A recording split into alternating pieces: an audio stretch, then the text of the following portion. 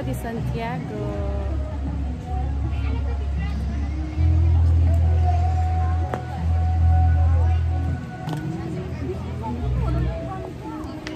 Hi Ter, welcome to Paseo de Santiago. Yes.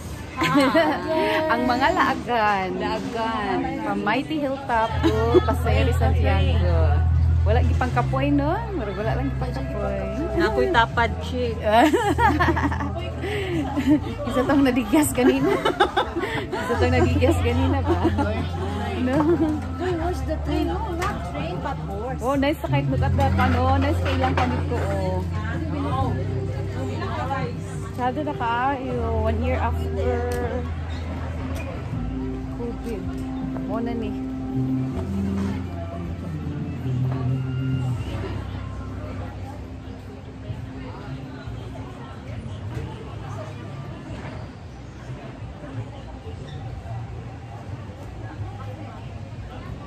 Magpalit ako rice, palitin ko kapil be.